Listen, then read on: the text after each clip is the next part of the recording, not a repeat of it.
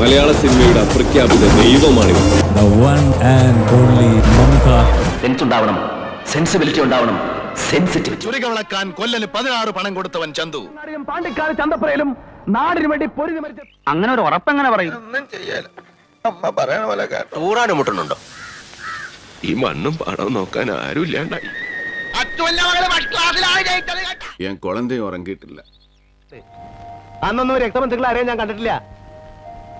അവിടെ കുടിച്ച വെള്ളത്തിൽ പോലും സിനിമാക്കാരെ വിശ്വസിക്കരുത്. ഇനി എന്നോട് കളിക്ക എന്നിട്ടാ നോകം നിന്റെ അനിയനീ അത് ഞാൻ ഗ്യാരണ്ടി കടയുടെ പേരുകൾ അത് നടത്താനെ കൊണ്ട്. നിന്നെയൊക്കെ നേരെയാക്കാൻ കൊച്ചി പഴയ കൊച്ചിയില്ലെന്നറിയാം. പക്ഷേ ബിലാൽ പഴയ ബിലാൽ തന്നെയാണ്